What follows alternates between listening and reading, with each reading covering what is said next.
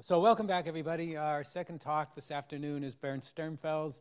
Uh, Bernd, I just learned, is recently reti retired from Berkeley and also is serving as the as director of the Max Planck Institute in Leipzig. Uh, Bernd's going to speak on algebraic varieties in quantum chemistry.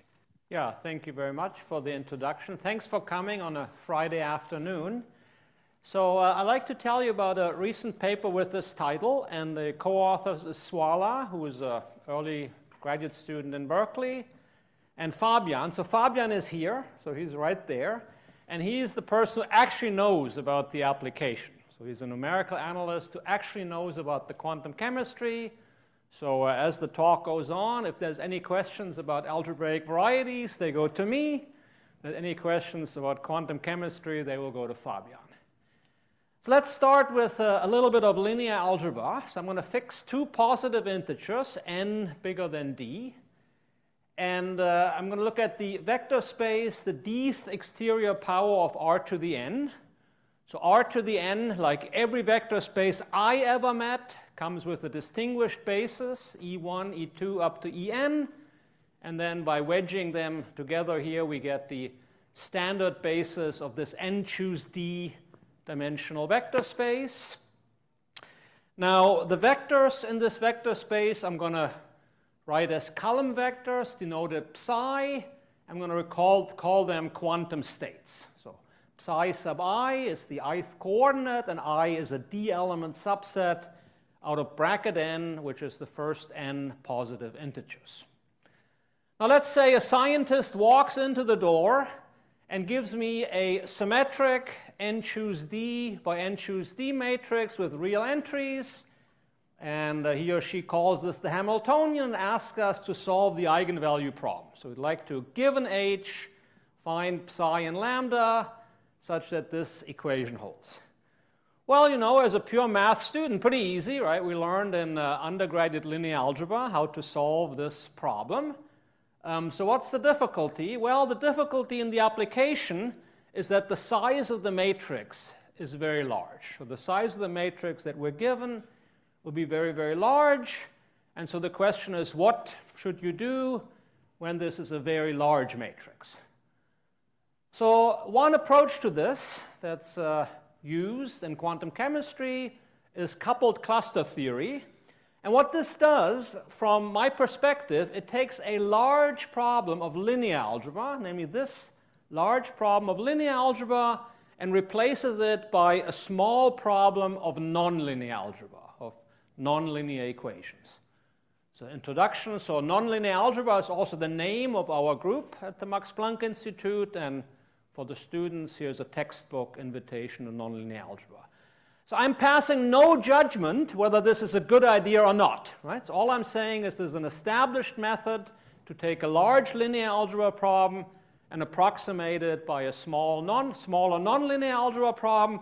But what we will do is to provide tools for the practitioners to assess whether or not this is a good idea. So a few words about math. So a title on the abstract from the paper. So we develop an algebraic geometric methods for coupled cluster theory, CC theory of quantum, quantum many body systems. Uh, the background is the uh, electronic Schrodinger equation. I'll show you what that is. And we're going to approximate it by a hierarchy of systems of polynomial equations. Um, the exponential parametrization will be explained, and this leads us to the Grassmannian and its Plücker embedding. And up there on the fourth floor of the Harvard Math Lounge, where there's two next to each other excellent coffee machines, you look at the blackboard, you saw this equation of the blackboard, but I'm not going to call the Plücker coordinates p, I'm going to call them psi in this talk, right, because of these uh, connection to, to quantum theory. So for example, the Grassmannian G24 of two-dimensional vector subspaces in a four-dimensional space, well, it's the, uh, given by this equation, psi1, 2, psi 3, 4, and so on equals 0. So this is the unique uh, irreducible relation that holds among the 2 by 2 subdeterminants of a 2 by 4 matrix, and the solution represents the row space of such a matrix. We'll also do, we're also going to have a digression where we discuss how these Hamiltonians H are actually derived.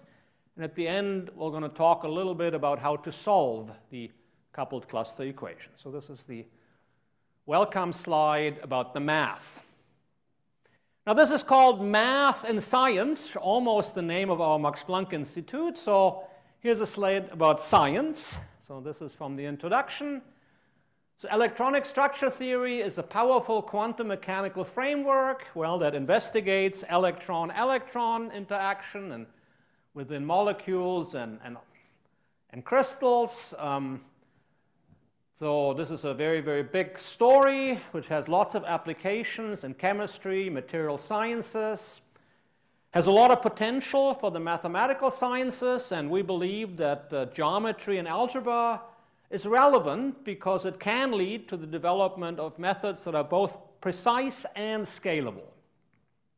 And of course, this could have societal implications that I mentioned here. So summarizing, the synergy between fundamental math and electronic structure theory offers potential for groundbreaking advances in addressing these challenges. Okay, so that's the promising sounding science part.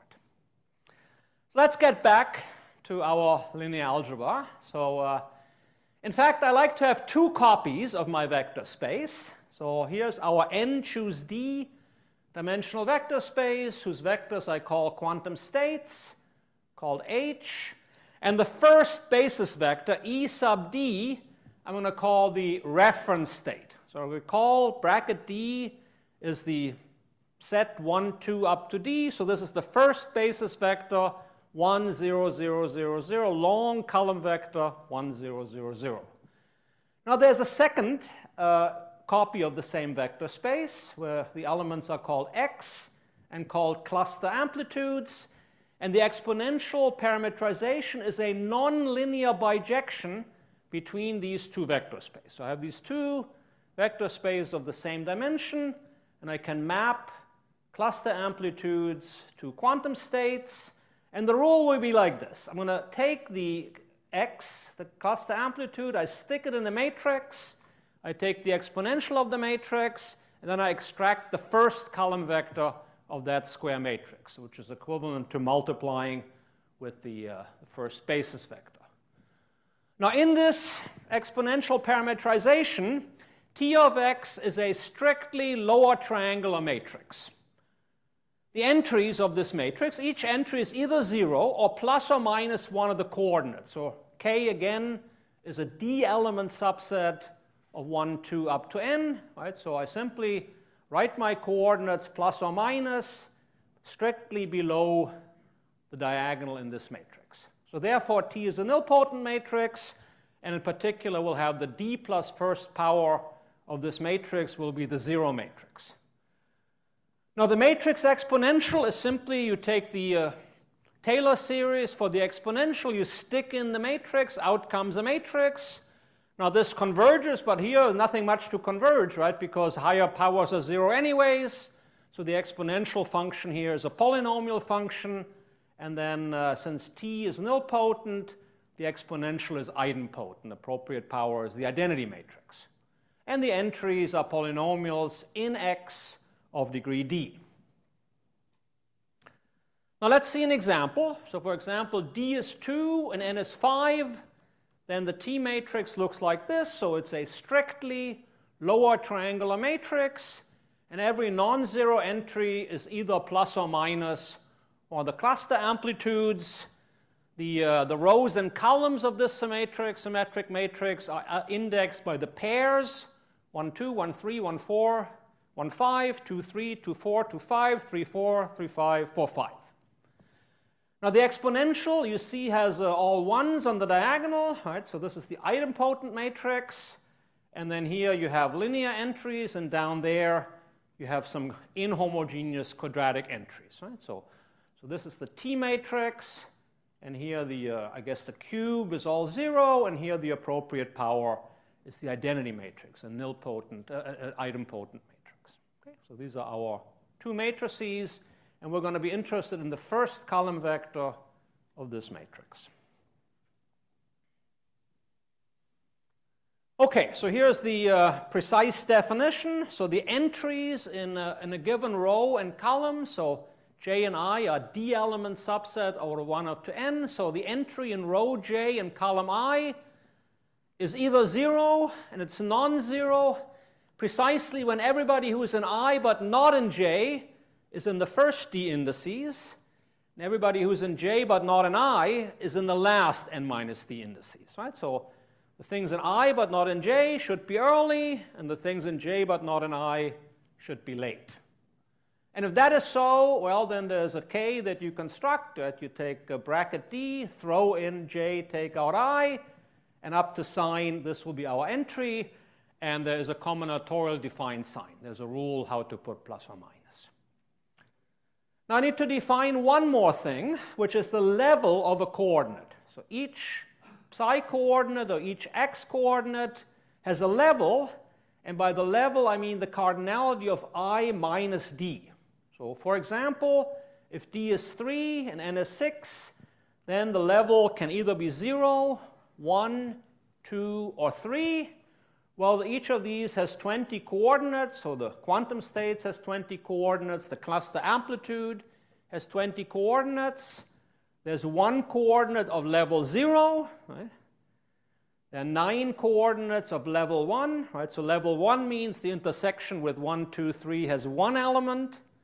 And then level 2, there are also nine. And finally, in this example, there's one coordinate of level 3. And what I'm going to do is I'm going to order label the rows and columns of my matrices increasing by level. That's already, I've done that in this example. We're going to do that in general. You can see the level here. The quadratic entries here occur in level 2. Here you have linear entries in level 1, and here you have the constant in level 0. Let's make this even more explicit. So we're talking about the exponential parameterization. Again, this is a map between our two vector spaces, and psi is the first column of the exponential of t of x. So very explicitly, here are the formulas for psi as polynomials in the x's um, for d equals 3 and n equals 6. So starts very easy. Psi is plus or minus x at level 1. Then at level 2, psi is a quadratic in x. At level 3, psi is a cubic with 16 terms in x. Now you look at this, I claim that this was invertible, and you can see this is a triangularized system, right? You can invert this and write the x's in terms of the psi's, right? Easily here, x is psi. Then here you bring the quadratic stuff on the other side, but what you bring over has lower level, right? And then that already is in terms of psi. So down here, x456 is this one minus all the other stuff, but the other stuff has lower level. So therefore, you can solve for the x's in terms of the psi's. So let's summarize proposition. So the map, this polynomial map has a, a polynomial inverse, namely xi. The cluster amplitude is a polynomial is equal to plus or minus psi i plus a polynomial and psi coordinates are strictly lower level. And here I've solved these equations for you. Here you can see there are some integers like 2 occurring among the coefficients. Okay, so I can go back and forth. If you know probability or statistics, it's a little bit like the transformation between cumulants and moments. Right? So you have a, a nonlinear transformation. We have a distinguished coordinate that's 1, just like with cumulants and, and, and moments. And so we're working in this affine space, and we have a polynomial bijection.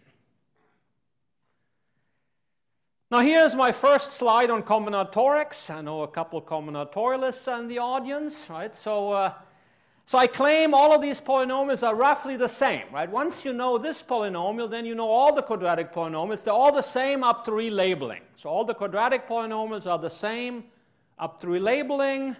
All the cubic polynomials are the same up to relabeling. So let me introduce a master polynomial. So in this case, n is twice d.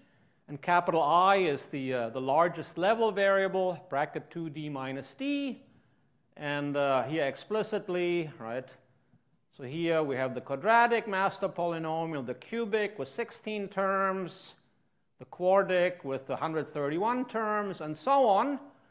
And then you write this down, you count the number of terms in the master polynomial, and you get this sequence. Now, of course, if you see a positive integer sequence, you type it into the online encyclopedia, and you get a hit. And uh, this has been studied by uh, people in algebraic combinatorics, in fact, quite recently. So uh, let's first say this works both ways. So all coordinates of the inverse map also get come from relabeling by an inverse master polynomial. And the theorem uh, says that we have explicit formulas for these polynomials as integer linear combinations of monomials and these are labeled by what's called uniform block permutations. And there's some coefficients here. You see happily 6 and 24, right? So uh, this is fairly recent work by Orellana and others. So there's a combinatorial structure called uniform block permutations. There's a Hopf algebra structure on this.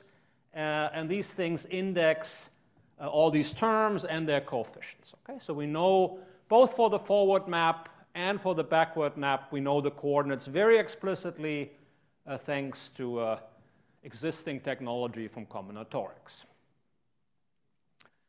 Now, the title of the talk is Algebraic Varieties in Quantum Chemistry. So now let me define the varieties we're looking at.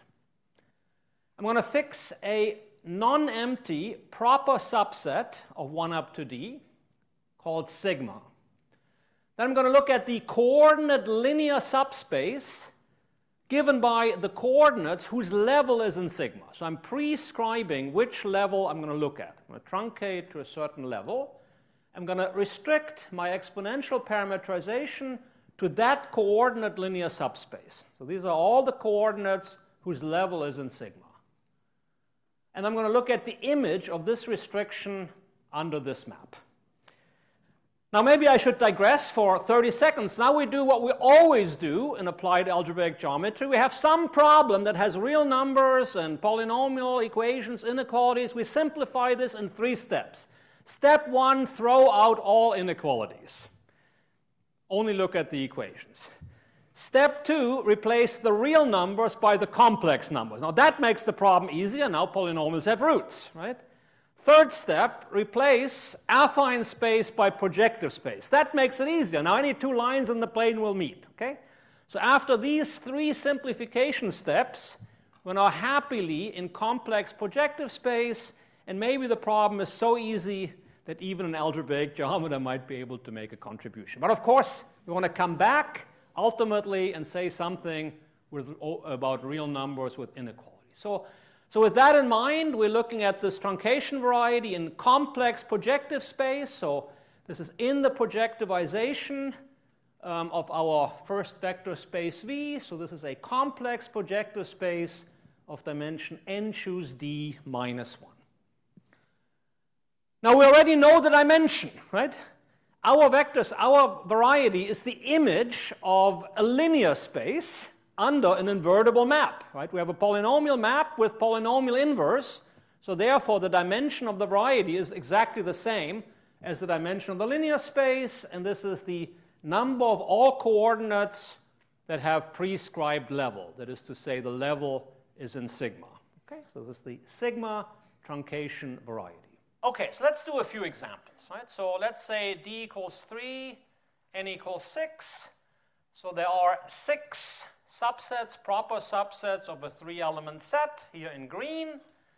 And so we have six truncation varieties. They live in a projective space of dimension 19, which is 6 choose 3 minus 1. Now, three of my truncation varieties are actually linear spaces. They're just linear spaces. So V sub singleton 2 is a nine-dimensional subspace. It's a zero set of all the coordinates of level 1 and 3. Similarly, V23 is a 10-dimensional space, and then the V sub 3 is a line, a P1. Now, more interestingly, the, uh, the nonlinear truncation varieties occur for sigma 1, 2. In this case, it's the cubic hypersurface defined by a homogeneous cubic polynomial with 16 terms, namely the homogenized master polynomial. Right? So I take the master polynomial with its 16 terms, and I homogenize it with the first coordinate. Then there's V13. Well, it's a 10-dimensional variety cut out by 25 quadratic equations.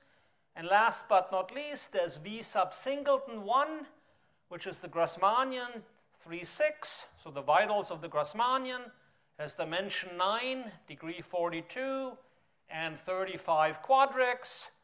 And uh, we didn't see all 35 quadrics on the fourth floor, but we could have.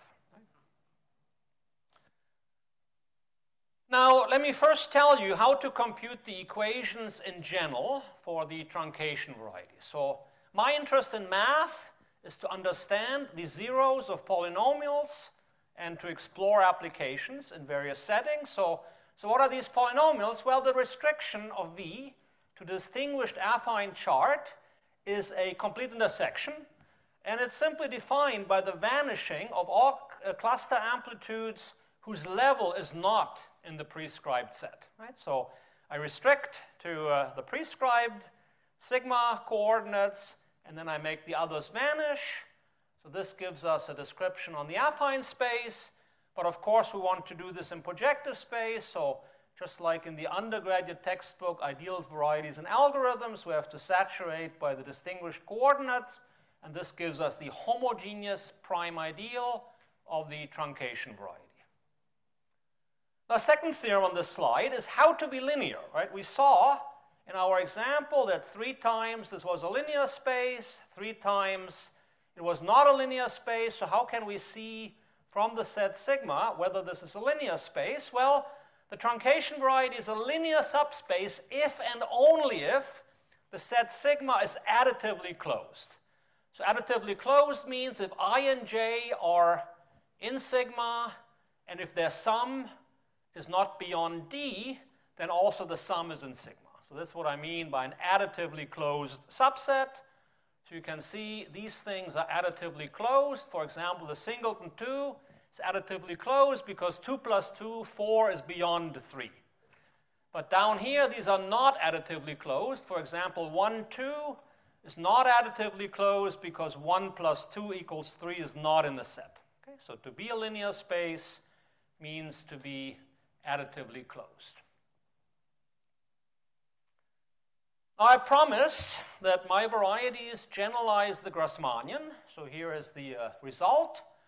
So if uh, sigma is the singleton 1, then the uh, truncation variety is precisely the Grassmannian in its Plücker embedding. So therefore, the uh, truncation varieties are generalizations of the Grassmannian, right? So for every subset sigma, I have a variety. At the bottom for the singleton 1 is the Grassmannian. But then I have uh, you know, a cascade of varieties that generalize the Grassmannian. Now, Grassmannians have a duality, right? So, as a duality between d-dimensional linear spaces and codimension d linear spaces. So, this also generalizes. So, we're fixing our truncation set sigma. Then there's a linear isomorphism between two copies of our ambient space, which switches the dn version of the truncation variety with the n minus d n version of the truncation variety. Right? So just like you have the duality between the dn Grassmannian and the n minus dn Grassmannian, the same happens for every fixed sigma, not just sigma being the single. Okay, maybe a couple more examples just to kind of get a sense of this. So if D is 3 and N is 7, again, there are six proper subsets of a three-element set. Again, we have the, uh, the linear cases. So for each variety, I write the dimension. How many degrees of freedom do you have? The degree. How curvy are you? And then here the, uh, the equations, so minimal generators of the ideal, so linear, quadratic, and so on. And then there's an orange quantity that I'll come to. It's called the coupled cluster degree. So for example, for the Grassmannian, G37, it's a 12-dimensional variety of degree 462, no linear equations, but 140 quadratics, all looking like the equation we saw on the board on the fourth floor. Then here for 2, for the ones that are additively closed, we have these linear spaces, and then for 1, 2, and 1, 3, we have some others. Here's the d equals 4, n equals 8 case. So now 8 choose 4 is 70. So now we're living in a projective space of dimension 69. There are 14 proper subsets sigma of a four-element set. Five of them are give us linear spaces for the additively closed subsets. And then here are all the others, the Grassmannian, and then these are all the, the nine nonlinear ones. You can see the degrees of these varieties go up quite a bit. They go up to almost 500,000. And then I'm going to get to the coupled cluster degrees in a moment. And there's still some question marks in this row. Okay, so here are now the equations we want to solve. What we're going to do is we're going to take the eigenvector equation, h psi equals lambda psi. Recall psi is an unknown long column vector. I'm going to truncate this to all the variables whose level is in sigma. Right? So I have this long column vector. I'm just going to erase many of the entries. I only keep those entries where the index has a level in sigma. I'm doing this both on the left-hand side and on the right-hand side. So now I've er-, erased many, many equations out of the eigenvector equation. That means now the solution is no longer finite. It's a, a very big solution space. But now I'm going to require that the eigenvector psi or the eigenpoint be in the truncation variety. Right? So the, the gain in dimension up here is made up by the loss of dimension down there and this is now, again, a well-posed system a finitely, which has finitely many solutions in projective space. So I want to define the coupled cluster degree with this notation CC. This depends on D and N on sigma. Is the number of complex solutions in projective space of this system for generic symmetric matrices H. And uh, here we take real, but you could also take complex. And uh, this is the system we want to solve. So this is the truncation variety I introduced. And we're going to replace the original eigenvector equation by this nonlinear system. So the nonlinearity is here in the truncation variety. And I gave you, in precise terms, the equations that cut out the truncation variety. So now when we started walking, talking with, with Fabian, I said, that's all very nice, but my audience are, you know, algebraists, maybe combinatorialists, that they might want to know where does H actually come from? What does all of this mean? So I'm going to digress now. I'll talk a little bit about where H comes from. Then we're going to get to Mike's question, and we're going to, maybe Fabian can make a comment. And uh, I'll very, very slowly go like this and give this to you. So the context is the electronic Schrodinger equation, which is now on the screen. So psi, now capital psi, is an unknown function in 3D unknowns. So I'm going to write r sub i, lowercase r sub i, for the unknown position of the ith electron in a system of d electrons.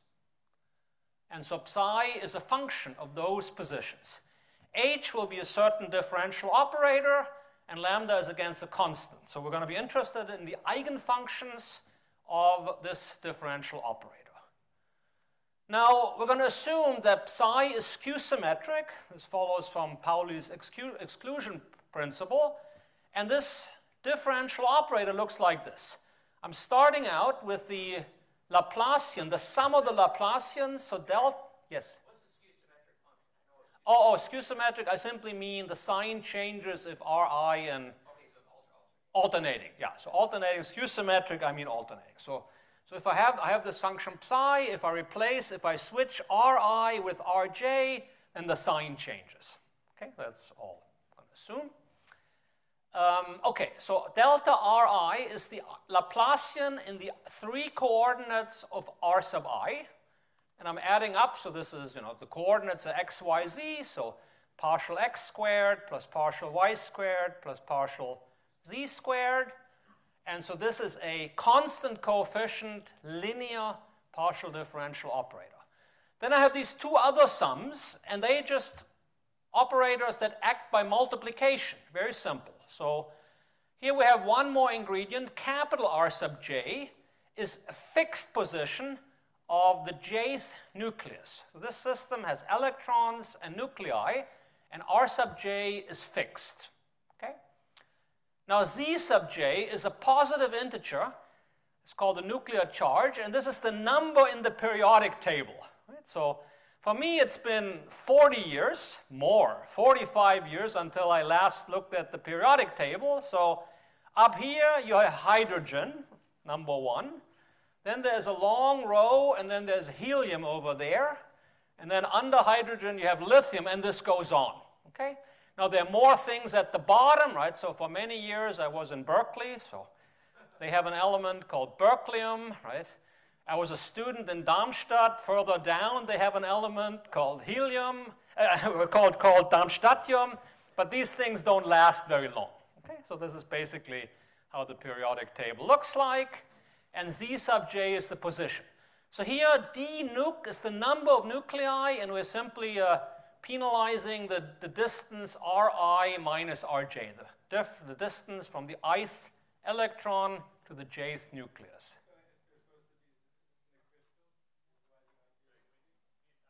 It already has the, oh, I see. Maybe we need one.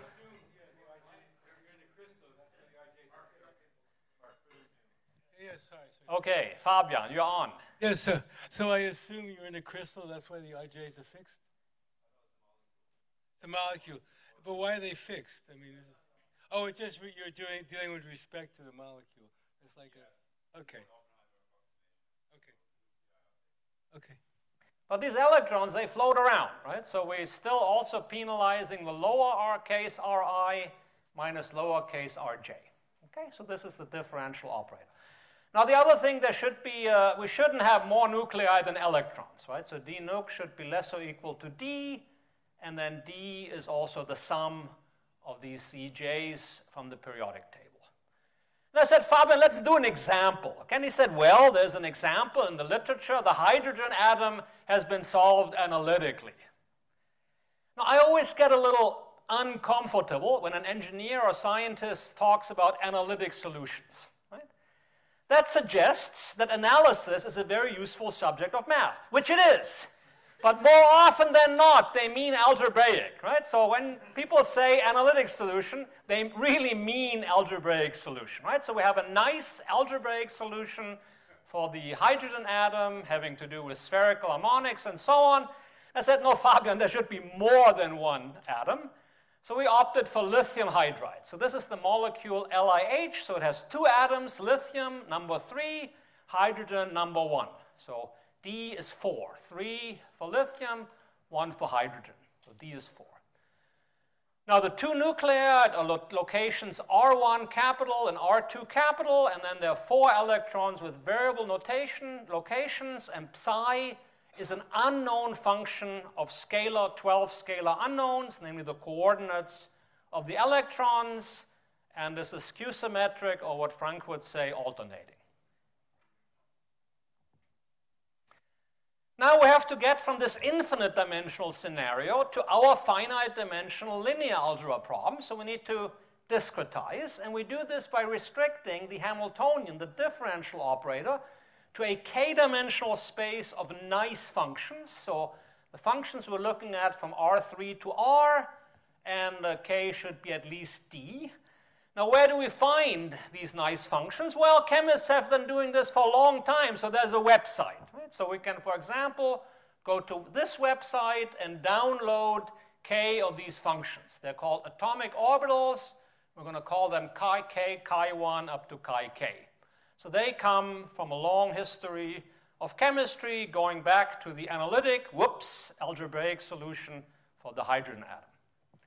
And then you get pictures like this. So you've seen this in high school, right? So this is a way of depicting such a function. Negative values in red, um, positive values in blue.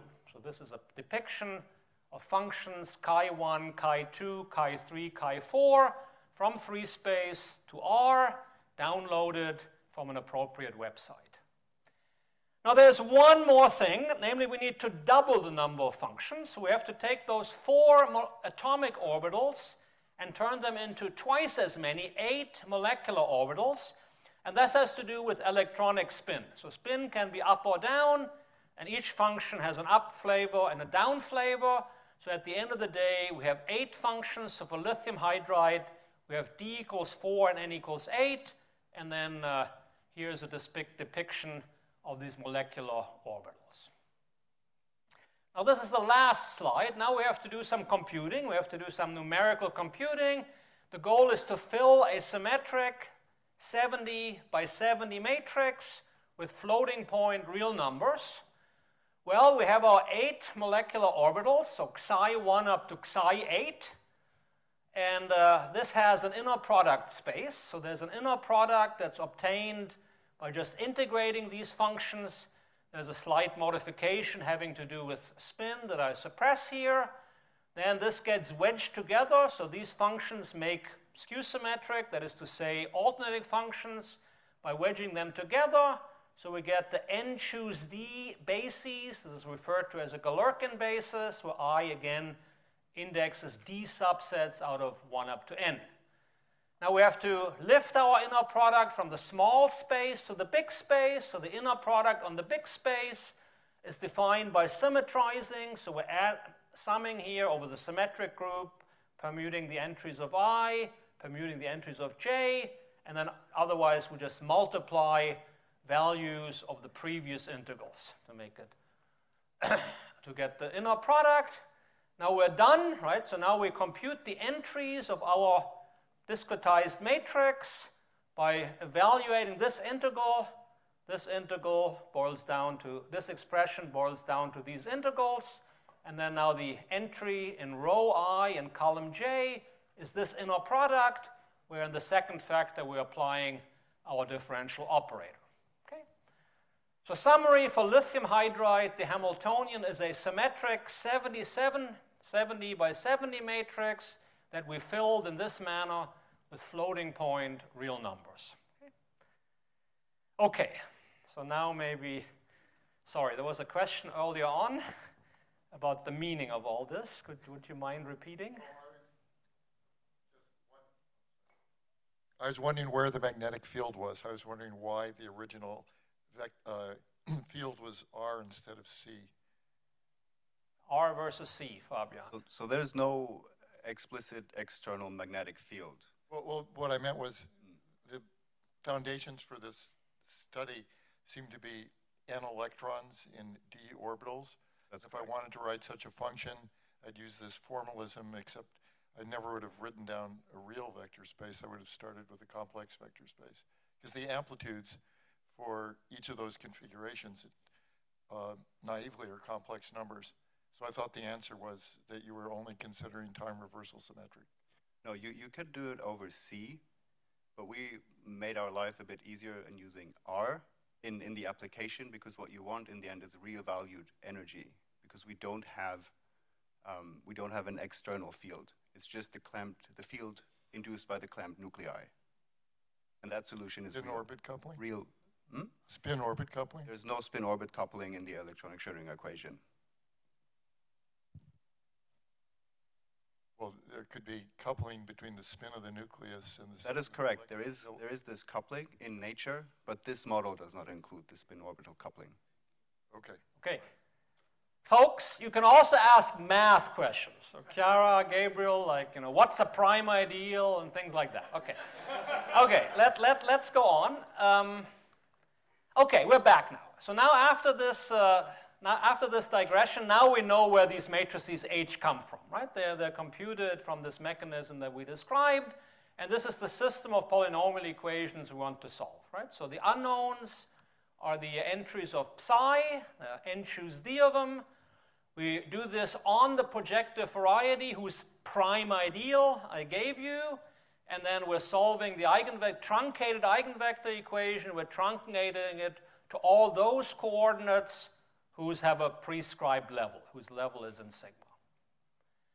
Let's look at an example. Right? So in matrix formulation, let's do this for the example we start out with, where D is 2 and N is 5, and sigma is the singleton one. So this is the Grassmannian 2, 5. Okay? So I learned a couple hours ago from Amanda that this is a rank 2 cluster algebra. So let's do it for this rank 2 cluster variety. So now the Grassmannian itself is cut out by five Plücker relations, five of them that, we, that I sang aloud. We can also think about them as the 4 by 4 subpfaffians of a 5 by 5 skew-symmetric matrix like this. Right? So the subpfaffians are the square roots of the 4 by 4 principal minors. So the Grassmannian is given by saying that the rank of this matrix is at most 2.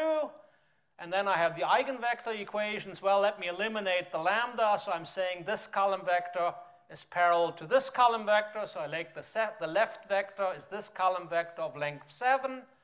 This vector is this column vector of length 7. So remember, sigma is 1. So we're truncating to coordinates of level 0, they come for free, and then there are six coordinates of level 1, and we're throwing out the three coordinates of level 3.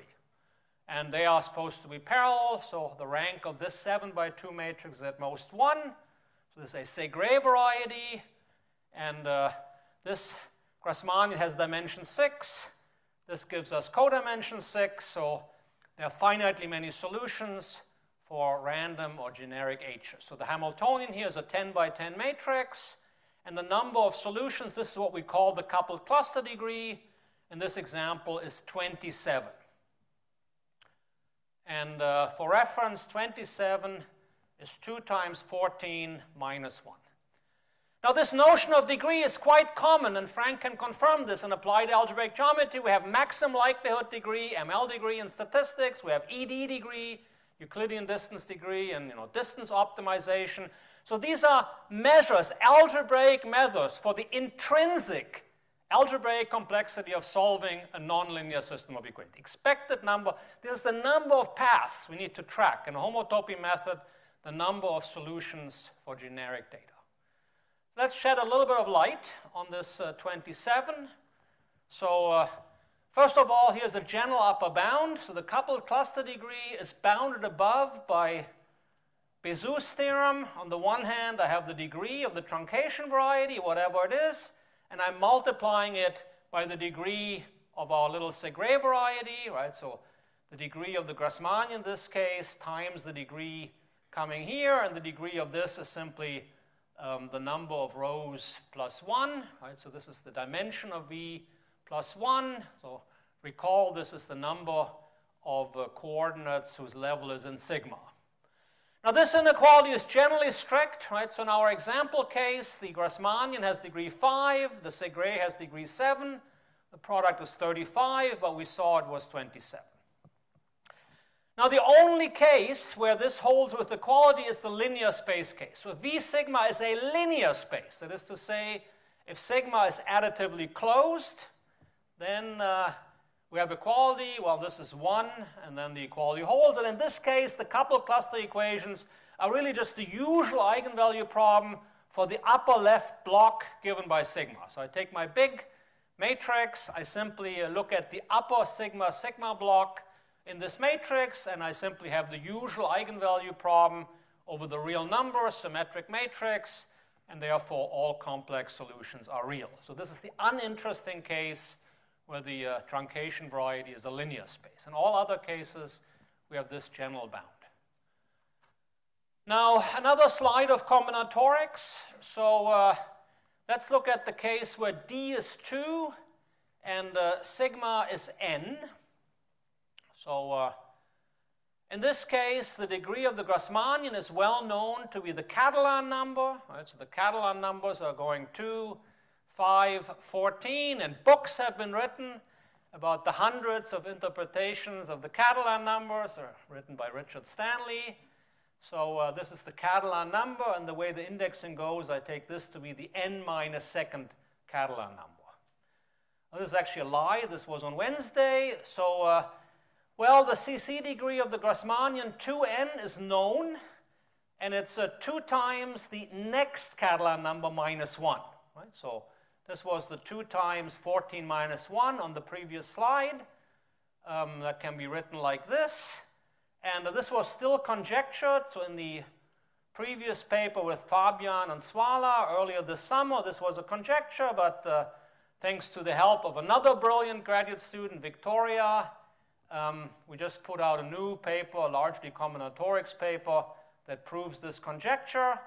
So uh, in this case, we know the exact degree, and uh, this is, uh, involves Gröbner degenerations and Khovanskii bases in, in this case.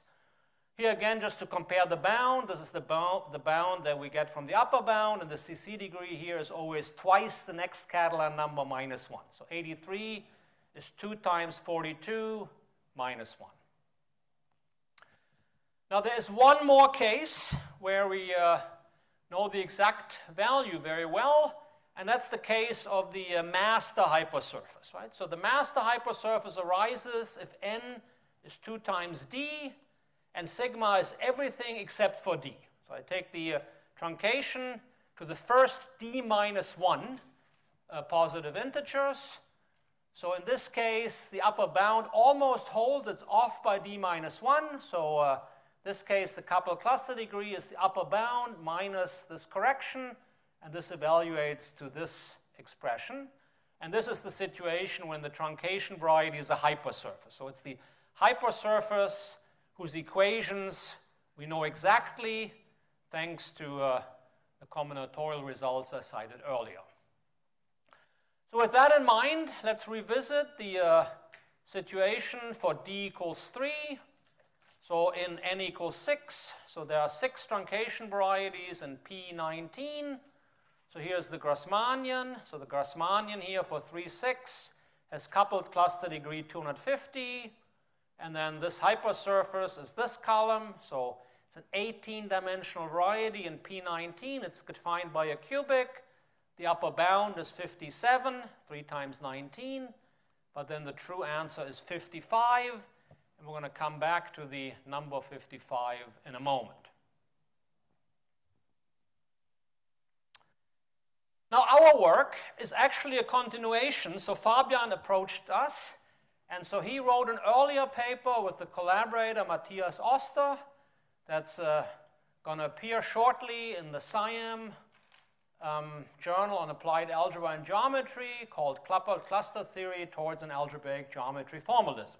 So coupled cluster theory exists for a long time in the computational chemistry literature, but uh, in this paper they made a first, took first interesting steps moving this more towards algebraic geometry, and I want to just argue a little bit that the work I'm presenting here is, is further progress. So in section six, uh, they talk about the CCSD model. So this is the notation the chemists use. So CC stands for coupled, cluster, singles, doubles. So CCSD. In our notation, this is simply sigma is 1, 2. So singles 1, doubles 2 for three electrons and six spin orbitals. So this is the 3-6 situation. And they wrote that uh, in this model supersedes the ability of state-of-the-art algebraic geometry software. So in their theorem 4.10, they offered an upper bound. So they used not only Bezout's theorem, but also Bernstein's theorem to give an upper bound. And for this case, they gave this upper bound for the number of complex solutions, 2 to the 27, which is this uh, nine-digit number. But we know from the previous slide that it's 55. Right? So what I'm trying to say is that the analysis, the algebraic and combinatorial analysis, not only drops the upper bound, but it gives us the exact number. Right? So we, we know in many cases the exact number, and this is a huge difference, right? Because this means it's a polynomial system that's very easy to solve. Now, connecting this to the literature, it turns out that the formulation I gave as a restricted eigenvalue problem on the truncation variety is not always the same as the classical formulation in the chemistry literature, but almost always an interesting situation. So our formulations, the one I presented, is equivalent to the classical formulation, for example, which was used in this Siaga paper, if and only if sigma is an arithmetic progression. So arithmetic progression means that our truncation set has this form, m, 2m, up to some km, uh, which is not bigger than d. Now, it turns out that uh, all the interesting cases that were covered in the computational chemistry literature satisfy these hypotheses. So singles, singleton 1, CCD, just singleton 2, or 1, 2, or 1, 2, 3, those are all arithmetic progressions. So whenever we have an arithmetic progression, then our formulation is precisely the one that uh, is also used in the chemistry literature. Otherwise, they deviate a little bit. So well, as I said, this has been long studied. There's a vast literature. And just as a sample, here's one paper from 2000, so complete set of solutions of multi-reference coupled cluster equations, physical review A. Now the advance now is both the conceptual one and the computational one. So I think we have a better understanding of modeling interesting physical applied situations using algebraic geometric description. And we now have numerical algebraic geometry. We have the capability of solving medium-sized systems of polynomial equations exactly with certification. So this is really a, a big difference from what was done 20, 30 years ago. So let me end by uh, talking about numerical solutions. I think uh, computation is very important. I think we have a center that uh, deals with uh, mathematical sciences and applications. We should not forget the importance of uh, computation um, for the sciences uh, as a medium for us to communicate with sciences. So let me uh, talk a little bit about how to solve these equations. And we use the software called homotopy continuation.jl. So this is a software written in Julia. Julia is a platform that numerical analysts tend to use. So old people use MATLAB, young people use Julia, developed down the street at MIT. So uh, this particular package is due to Breiding and Timme, and together with Rosa, they have a certification. So there is a software based, uh, so this software comes with the extra button where you click, and when you run the calculation, you can ask for certification. Using interval arithmetic, you get a proof that this was correct. So for example, d equals 3, n equals 8. So some examples. So in each case here we have again our subsets. Let's focus on the nonlinear case, so the Grassmannian, 3-8 Grassmannian, sort of a threshold case, you know, for the cluster people, you know, last finite type case. So the degree of the Grassmannian is 6006. The coupled cluster degree is 38600. So it takes uh, about 10 minutes to uh, find all 38,000 solutions, and it takes seven seconds to certify it. So this is off-the-shelf standard software. But then, of course, you know, as the, uh, as the coupled cluster degree increases you know, in the hundred thousands, then it takes a little longer both to solve and to certify. Now, scientists like figures. Right? If you look at a scientific paper, especially in Science and Nature, very prominently you will uh, find the figures, and then the more interesting mathy things are usually in the uh, supplementary materials. So we made a couple figures. So first of all, to sort of show the progress relative to a previous bounds, right? So this is much, much better. But more interestingly, really a comparison of the energy spectra. So we, used to, we looked at our lithium hydride example. So here D was 4, N was 8. So this was a 70 by 70 Hamiltonian matrix, so we can easily compute the true real eigenvalues. So there's a true spectrum here indicated in red. And then, of course, over the complex numbers, uh, some of the, the roots are non-real, so they come in conjugate pairs. But you can see that in the dominant part here, there's a lot of agreement, uh, in particular for the single truncation, sigma equals 1. We have very good agreement, and here it's a little bit worse. Okay. So what I'm trying to say here, we did a couple more. So this is again lithium hydride for D equals 4, N equals 8. So uh, what I'm concluding here is I'm not saying that coupled cluster theory, I'm agnostic as to whether this is a good approximation or not. What I'm saying is thanks to the advances in computation algebraic geometry, we can now offer the scientists a tool to make this judgment. So we're not making the judgment, is this a good approximation or not, but we offer new tools that uh, can be used to make such a judgment. Turns out that uh, this is actually highly singular. The specific Hamiltonians that we derived in our calculation leads to a lot of singular solutions. So one interesting problem is to still understand what's special about these matrices H that come in the manner described from the electronic Schrodinger equation. Okay, it's Friday afternoon. Time is up. Nobody minds a talk that ends a minute early. So let me conclude. So these are the polynomial equations that we wanted to solve, the coupled cluster equations. Um, I argued that algebraic geometry and combinatorics are valuable, essential ingredients for mathematics and science. I claim that polynomial equations, where we know ahead of time that the number of complex solutions in the order of 100,000 can now be solved routinely with proof, okay, with certification, very important. Now, everybody, I claim, loves the Grassmannian, right? Who could argue with that? We all like linear subspace over vector space. And once you see Catalan numbers, you cannot help but falling in love with them. I claim that quantum chemistry offers very interesting problems like many sciences, right? So we would like to look at the sciences, maybe make a contribution, but equally easy bring it back and turn a scientific question into math, theoretical math. Now, the last comment is that the equations up there, in fact, make sense for any projective variety whatsoever, right? So if you have your favorite projective variety, and you have a basis of the algebraic matroid, that is to say, you have a set of coordinates that's maximal and independent on the variety. So you fix a projective variety together with a basis of its algebraic matroid, then you can write down these equations and we can define and study the coupled cluster degree. With that, I thank for your attention.